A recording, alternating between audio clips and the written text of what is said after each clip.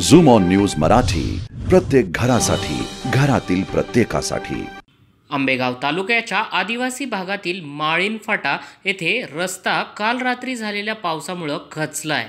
पाऊस सतत पडत राहिल्यास संपूर्ण रस्ता बंद होऊन माळीन आंबडे पांचाळे खुर्द कोंडरे भोरवाडी आहुपे पिंपरगणे आघाणे डोन नावेड तिरपाड या ठिकाणच्या गावांचा संपर्क तुटण्याची शक्यता आहे. सध्या तात्पुरता भराव टाकून रस्ता वाहतुकीसाठी चालू करण्याबाबत सभापती संजय गवारी यांनी सांगितलं आहे तसेच त्या ठिकाणी कायमस्वरूपी कॉन्क्रीट वॉल बांधण्याबाबत सार्वजनिक बांधकाम विभागाला सूचना दिल्या आहेत.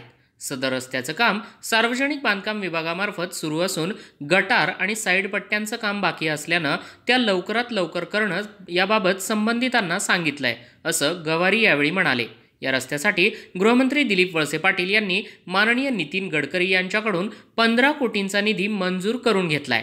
सदर काम अंतिम टप्प्यात असून काही ठिकाणी साईड पट्ट्यांचं काम करण्याबाबत अडचणी निर्माण होत असल्याचं गवारी यांनी वळसे पाटील यांच्या निदर्शनास आणून दिलं आहे doctor Atul Sable Zoom On News Ambegaon.